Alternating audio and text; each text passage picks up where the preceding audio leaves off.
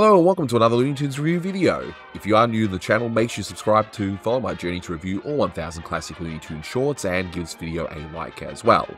So this is a review for Those Were Wonderful Days, released in 1934. It's the 78th in the series and it's directed by Bernard Brown.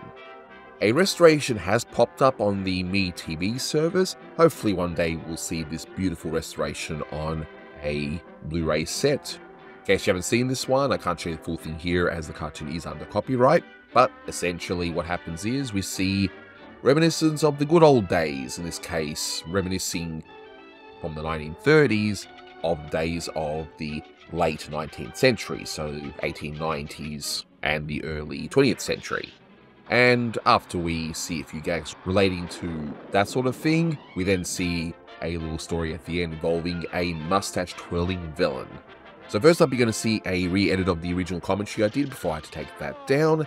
Then you'll hear some new thoughts from me, and I definitely missed a lot when I actually did the original commentary, so there's quite a bit to go through. And then you hear from my good friend Manny Cruz, the Toonie tenor, who will discuss the music in this short. So without further ado, let's get into it. Um, this cartoon is one of, one of those nostalgia type cartoons. You, you, might have seen a Walt Disney cartoon in the past, a Mickey Mouse one called the Nifty 19, 19s, 90s, something like that anyway, uh, where it was like a nostalgia trip for the um, early 20th century, and this is pretty similar to that. So this one is, well, back first of all, back to black and white, and I do have to point out this uh, really... Um, curvaceous animation right here, where she's basically singing about that uh, women used to be more like Mae West, who was very, who was yeah, quite um, voluptuous like like so. It's also like uh, people in the 70s were being nostalgic for the 50s, and hence you've had shows like Happy Days and movies like American Graffiti. So this came, came out in 1934, so people would have very much remembered um, these good old days, as they probably might put it. There's definitely a charm about these. Um, it's basically a bygone era's look at a bygone era. Of course, this is my kind of picnic right here. I mean, with the free beer. I mean, wow. Those really were the days.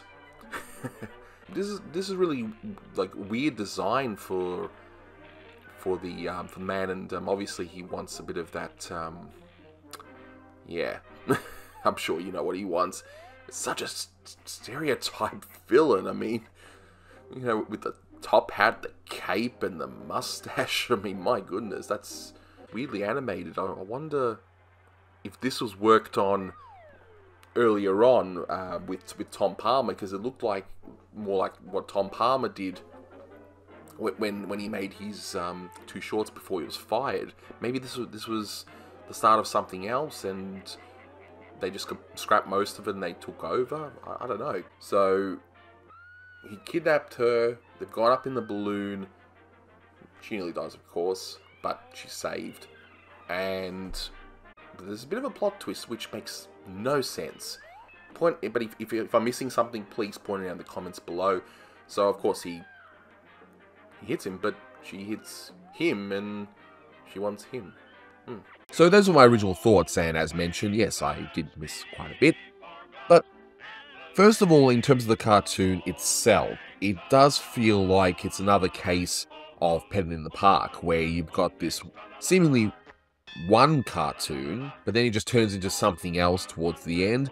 At least in this case, thematically, it's about the same. It just appears that there was this one cartoon, just rolling gags around you know, the turn of the century, and then this other one where it's about this mustache twirling villain trying to kidnap a woman. But at least thematically they're the same, but it just feels like it's from two separate things. Like they started one thing and just added in another. If you look at the beginning of it, it looks as though Frank Tashlin may have directed this, or at least had a strong hand in it, because a lot of the character designs were pretty much how Tashlin drew at the time. And yet, at the very end of it, the character designs look a little bit more different, look a little bit more wonkier. In fact, they look very similar to those infamous Tom Palmer shorts where he did those two shorts and then he got fired because these shorts were just so terrible. I don't know what happened here. There's no records to say what happened. because Bernard Brown is involved with the music in the short, and yet he's got director's credit, so it's possible Tash may have started this. He then got fired over his Tish Tash comic and probably something else as well, and that's put a director's credit, so they gave it to Bernard Brown. But anyway, that information is probably lost to time. So essentially, as I touched upon in the commentary, the short is basically the equivalent to perhaps how the 80s are viewed today, with a lot of the 80s nostalgia, even music in a lot of films. I notice has got that sort of 80s vibe to it. So, and similar to how in the 70s there was the whole 50s revival, the whole nostalgia thing with Happy Days, American Graffiti, and that sort of thing. Keep in mind, this short came out in 1934, and there were still plenty of people alive that were from the previous century. You can imagine a lot of people watching this might have just reminisced and gone, I, I remember that, I remember that. There are quite a few references here that appear to be of the turn of the century. It's possible I missed one or two, and there were a couple in there I couldn't quite get, but you guys can help me out with that in the comments if you know more than me about this. because I'm not an expert on the turn of the century American culture, but I did my research and hopefully everything is correct.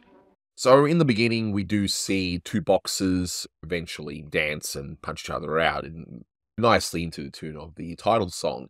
We see the name Kilrain Sullivan, and that refers to real boxers, Jake Kilrain and John Sullivan, who battled each other in 1889 in a bare-knuckled match where this was before boxing gloves came into effect. And no, I'm not going to pretend I'm an expert on boxing, but as I understand it, their boxing originally was just bare-fisted, and later on, boxing gloves came into it. Though here, for some reason, they're wearing boxing gloves, but I guess I'll just do the whole Simpsons reference. Hope somebody got fired for that blunder. But anyway, but that's who they're referencing, regardless. Then we see the Cherry Sisters, and I looked it up, and apparently, and again, correct me if I'm wrong, but I believe that's a reference to a real life vaudeville act called the Cherry Sisters, and they were apparently the act was really notorious for just how awful it was. And a newspaper outlet that criticized the act was actually sued by the sisters, though the sisters ended up losing, and that's considered to be a landmark decision in the right of fair comment by the press. Now, another reference in that particular frame, you see Kid McCoy, and Kid McCoy was a real life boxer who sadly had a troubled later life. And it seems to be a common theme among a lot of boxers. As soon as they achieve success, after that, you know, this seems to be a lot of issues. But anyway, we won't get into that. He was apparently married 10 times, and I actually just finished reading an Elizabeth Taylor book where you know, she was married quite a few times, and that's like, wow, okay, well, Elizabeth Taylor, eat your heart out, I guess. I'm looking at all this shaving cream, and first of all, I don't know why all these references are on shaving cream. Again, if you guys know, let me know. I can't seem to see what's so thematic here regarding the shaving cream, but from what I can see here, and given that some of these names may be a bit more common, it could be referring to someone else, so hopefully I got this right. But looks like Al Jennings was an attorney who ended up becoming a silent film star. I'm not sure Mark Kelly, because again, it's a really common name, and I'm looking up references in the year, late 1800s, early 1900s. I can't seem to find anything on that. Al Smith looks to be a reference to the former governor of New York and the Democratic Party nominee of 1928. Now, Steve Brodie, I found two references for someone that's in the late 1800s that could be it here. I think it's the baseball player that played for the Baltimore Orioles, Orioles, O R I O L E S. Sorry, I can't even pronounce that. Or a British champion diver and bridge jumper that was considered to be one of the best of the era. But uh, like I said, I think it's most likely the baseball player given the theme here. But yeah, it could be either one. But again, no idea what that has to do with shaving cream. But yeah, again, you can let me know in the comments. Now, a cakewalk, a lot of folks might look at that. Bear in mind, this is blink and you miss it, so probably the only person out there looking it up and giving you the reference is me. But a cakewalk. Okay, so the participants would walk around a path in time to music, which plays for duration, then stops. A number is drawn at random and called out, and the person standing on that number wins a cake as a prize. So it's like basically a game. Later on, as we see the sign about this you know, picnic in the park, we get a nice little showcase of the various modes of transportation at the time. So we've got the old automobile, which would have been only to the well to do, the people who could actually afford that sort of thing. And we even see penny farthing. So it's a nice little historical reference there of it. Yeah, the mode of transportation, of course, most people walked anyway, or horse and carriage was definitely more popular mode of transportation at this particular time. But of course, give it a few decades and the automobile would take over. Yeah, this cartoon's actually quite strange, and another reason why I suspect Tashlin had a strong hand in this one, it just comes across it with his sort of sensibilities. If you look at the films he made later on, once he actually got into live action directing, the kinds of women that he used, well, they were definitely on the bustier side. It's in like The Girl Can't Help It and that sort of stuff. Looking at this short, there was definitely a love for the, I guess, shapely ladies. Quite a few here, in fact. So I don't know. I, I still suspect that's another reason why I think he started this short or had a very strong hand, whether he directed it or not. And boy, oh boy, they really try and milk all of these jokes. Of course, you got the lady in the beginning as part of the song, which makes sense because she's referencing Mae West, who had that kind of figure, and that was lyric in the song that she sings. But then we see that really, really weird free lunch gag where the, the guy just snatches up a free lunch and then later on he just the lunch on her yeah. Yeah you'll see it.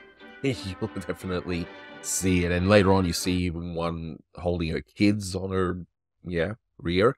But then you see the the lady in the later half of the cartoon and she's not busty really so that's why i think this was just from something else entirely and it was just put together it just happened to have the same theme but what about some of the other stuff? I mean, my favorite gag is definitely, and I mentioned this in the commentary, but the free beer. There's a party right there. But also, that guy just drinking the beer and just turning fat. Is it silly? Yeah. But I like it. I like it.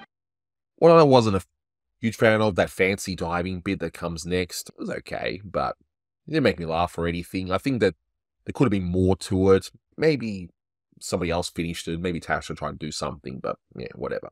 But let's look at the last part of the cartoon. So we've got this vaudeville, stereotypical villain, your mustache twirling, wahaha, tie the woman to a train tracks kind of villain that you, you see quite often. And of course, even looks at her ear at one point. Yeah, it's definitely uh, pre-Hays Code as well, where the Hays Code would have uh, probably said no no to a lot of the gags in this short. And then we, we see just a pretty standard, I guess, fight between the hero and the villain. We get a very silly, bizarre fight around the balloon as well. And parts of it, seemingly it's like it's at a circus. So again, it feels like it's a different setting altogether. Although there is one shot later on which kind of establishes there's something in this park. But anyway, but the most bizarre thing of this short, aside from how the hero just casually glides down, is the very odd ending. So you got this guy trying to kidnap this girl and the hero knocks him out, and then she feels sorry for the villain. The villain wins. Very odd, very. Alright, I've been proudly long long enough, so here's my good friend Manny Cruz, the Toonie tenor, who is an expert on music, and of course loves his cartoons, and he is going to discuss the music, since this short is promoting a song, so take it away, Manny. Hi everyone, this is Manny Cruz, the Toonie tenor, coming at you with the latest edition of It's Time for Manny's Music Time with music trivia for you today. I keep singing a little bit higher and higher as the day goes on. I don't know. I did four masses this morning by myself and a lot of singing, a lot of warming up to do. So, but I'm here to talk about not liturgical music, but I'm here to talk about the 1934 Merrie Melody. Those were wonderful days, directed once again by Bernard Brown. And before I go any further, I do want to say that if you want to learn a little bit more information about Bernard Brown, his career working in sound editing at Warner Brothers as well as Universal, I would highly recommend you check out the commentary for Petting in the Park that I did a while back that goes more into explaining about his life and career because he was not a director. He was just pretty much a body that was available to cover for some of the turmoil that was going on in the Schlesinger unit at the time. So let's talk about this cartoon. There were several cues, and there was some information that I've decided to hold off until uh, later commentaries because I want to really get into the meat and potatoes of some of these specific composers at a later time. after hearing the opening Merrie Melodies theme of I Think You're Ducky, immediately when the cartoon starts, you get to hear a little bit of Auld Lang Syne. As most people think of it, oh, it's a song that everybody sings on New Year's.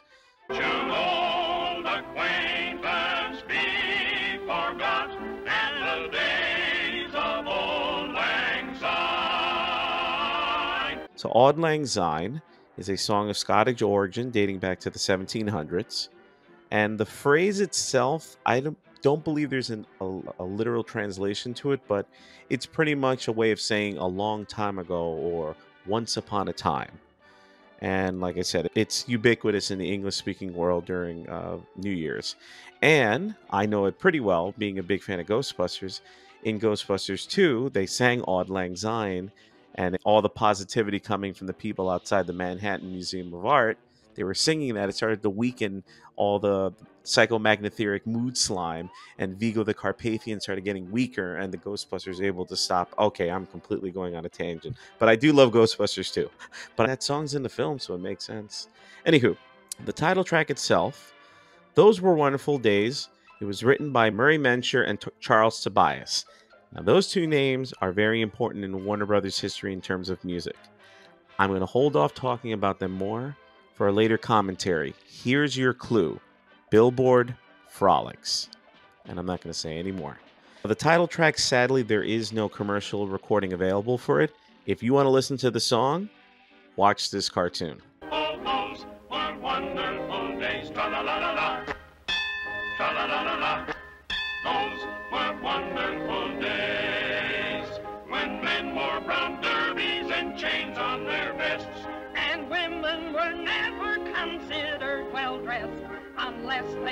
Bustles looked like. Those were wonderful days. Another song that you hear in a lot of Warner Brothers cartoons is Oh You Beautiful Doll, which was written by Nat Ayer and was published in 1911. It was actually originally a song from Broadway and it was used several years prior as part of one of the screen songs from Max Fleischer. And when I was doing research into it, I was under the assumption that this song was older than what I thought it was. I thought this was a song that was written sometime maybe in the 30s. I hear "Oh, you beautiful doll," you. That melody has been used in multiple Warner Brothers cartoons. I assumed it was a later date of publication than I thought, but oh well.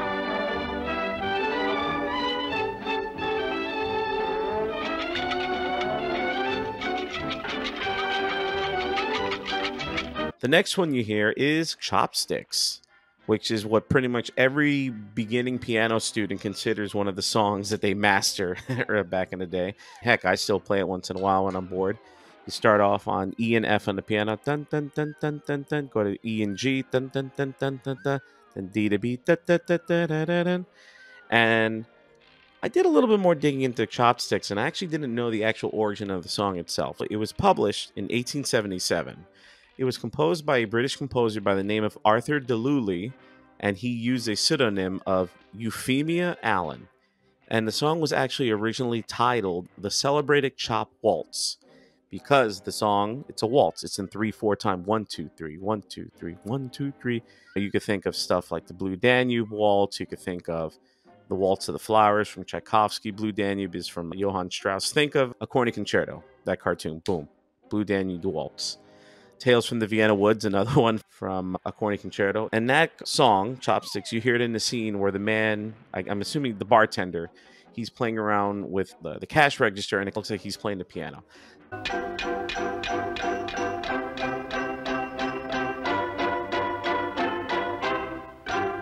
Now, of course, my mind goes to Rhapsody Rabbit in the scene where the mouse is hiding underneath the lid of the piano and he starts playing chopsticks and bugs puts the piece of dynamite inside the lid to try to kill the mouse and then the mouse starts playing taps on the piano and then he hits bugs in the head with the mallet. Great cartoon.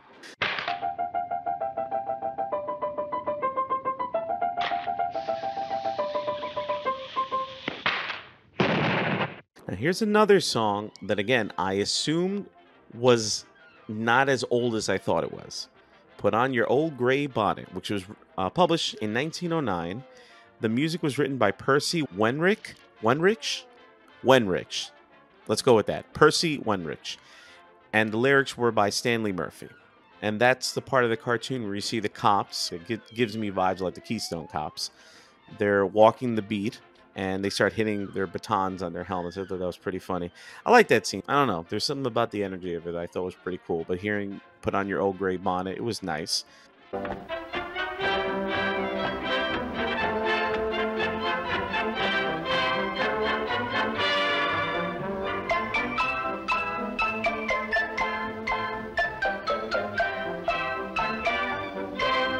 When I think of that melody, again, it's another song that's uh, been used in various Warner Brothers cartoons, but two that come to mind for me is The Bear's Tale from Tex Avery in 1940.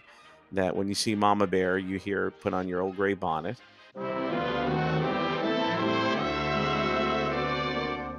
And of course, how could you forget the best version of it in Warner Brothers cartoons with Bugs Bunny and the Big Bad Wolf from 1944's Little Red Riding Rabbit.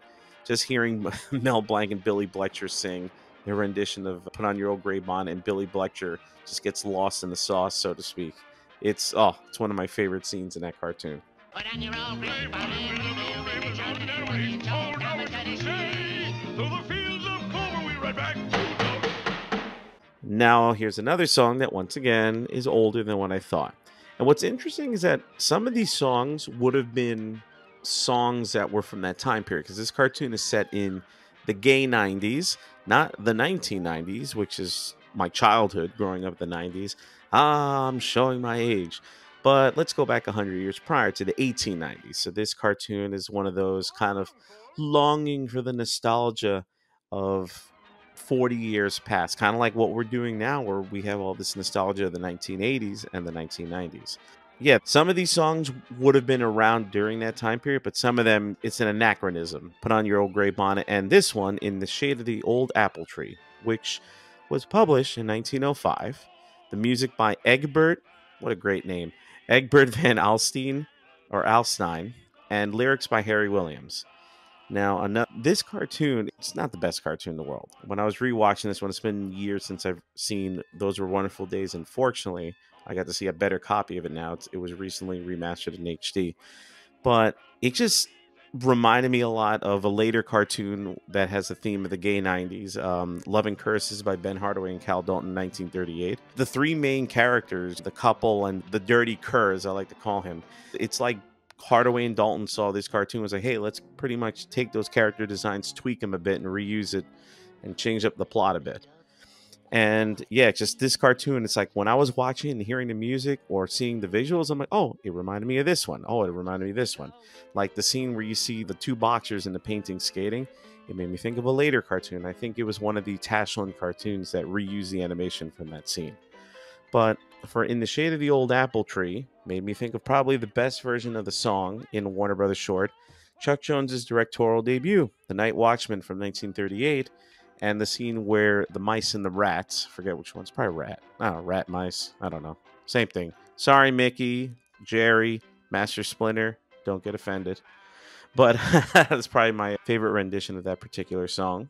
And that was during the scene where they were getting the free beer. And once again, thinking of another cartoon, free beer, I'm thinking of One Froggy Evening, the gag where the guy was trying to get everybody to come inside the theater. It's like, hey, free beer. It doesn't work on me because I don't drink, but if it was like free Coke Zero, that'd be a different story.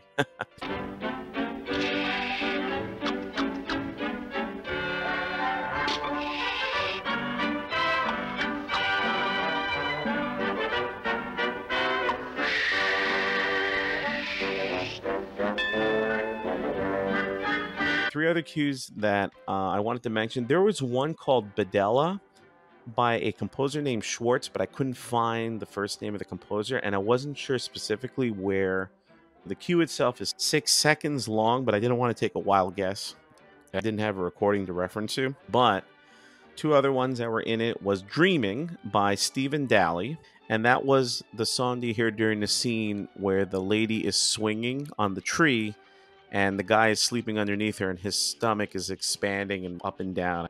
He breathes like a singer. He kind of looks like me when I'm about to sing a high note. Well, minus the sleeping part, which is what I'm going to be doing after this recording.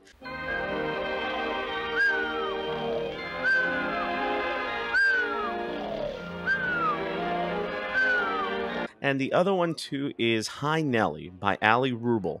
Now, Allie Wrubel is another composer that's pretty extensive that I want to talk about at a later time because he worked in, films, he's worked at Warner Brothers, Disney, some other things, and he's one of those that I want to save for. I don't want to say it's raining outside right now where I live in uh, New Jersey, but let's save him for another time because I want to really dig deeper on a later date.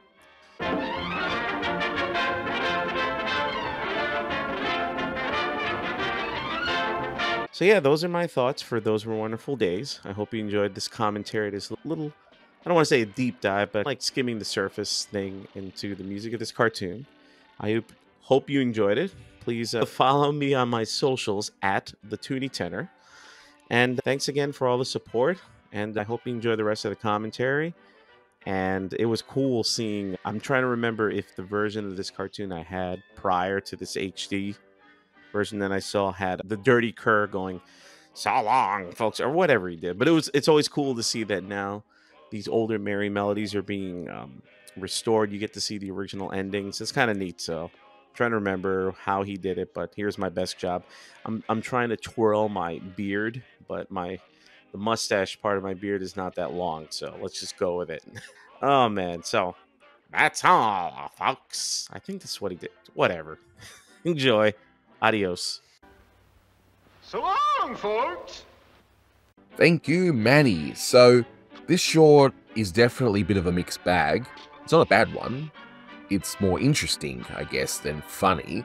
And it's definitely got its amusing bits, you know, like the use of the ladies in this one, the beer gag, and of course, just the crazy, just honestly, it's an insane ending. But this one gets about six and a half out of ten.